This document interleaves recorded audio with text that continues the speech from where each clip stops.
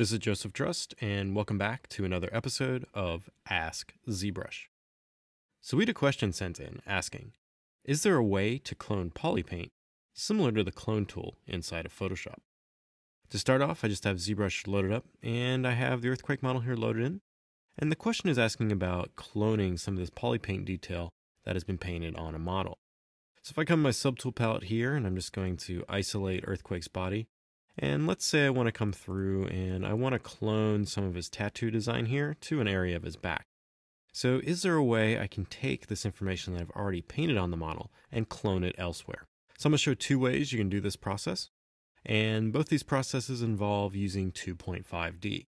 So to start off, just position Earthquake on your canvas so you can see the area you want to clone and the area you want to clone to.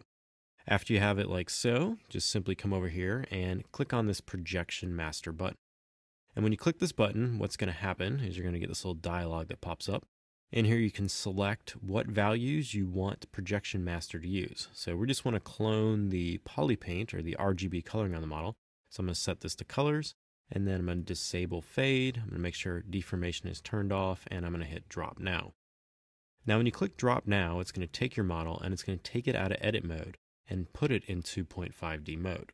So right now your model is in 2.5D. Now when your model is out of edit and in 2.5D, you're going to notice in the tool palette here that you have these different brushes now that you can select. So I come over here and just simply click on this single layer brush. Down here at the bottom, you have all these 2.5D brushes. So now that we're in 2.5D, we can use any of these. And one of these brushes here is called the cloner brush. So I'm just going to select that. And now with the cloner brush selected, I'm going to come up to the top and I'm just going to enable RGB and I'm going to turn off Z add. And then I'm going to hover over the area of the model that I want to start to clone from. And I'm just going to hold control and click. That's going to store that location. And now if I go to the other area of my mesh, it's going to change my draw size here. And now I can just simply click and drag and it's going to clone that polypaint information to this area on screen. Now, while you're doing this, you want to make sure you're holding down so that clone takes place because it's looking at the starting point that you selected. So I just come through and describe that tattoo there. And now if I want to repeat this, I can just start painting elsewhere and it's going to apply that poly paint again.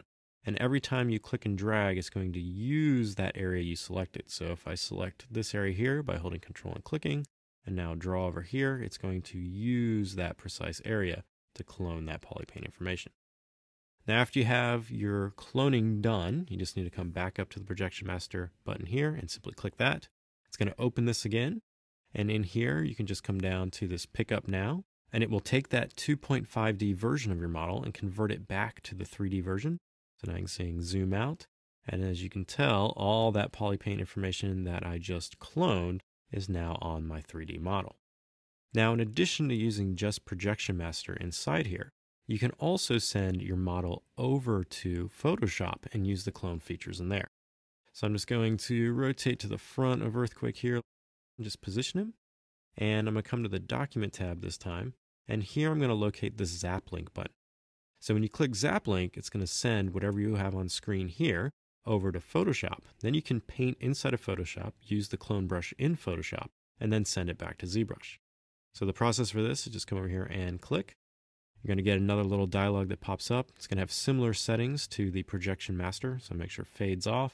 And I'm going to click drop now. Now, after you click that drop now, Photoshop should open up and you should have Earthquake loaded in. You're going to see you're going to have three layers on this. So you have a top layer that's called Z shading and it says do not edit. And you have a bottom layer called fill Z shading that says do not edit. So do not edit the top or the bottom layer. The middle layer is the one that's containing your model's information. So in here, I can now come over and select the clone tool. I can pick that part of his arm, come through and start cloning it on his chest. So something like that.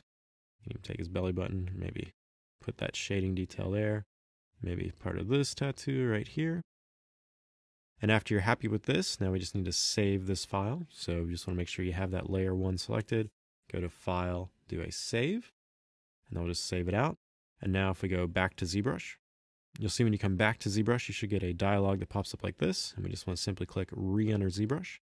Now it's going to take that painting that we did inside of Photoshop and lay it back on top of our model here. And now if we do that pickup, it's now going to take that and pick it up and apply it back to the polypaint of our mesh.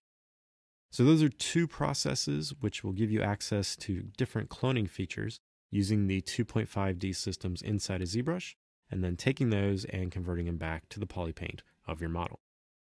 If you have any other questions related to ZBrush pipelines or processes, please use the hashtag AskZBrush on Twitter.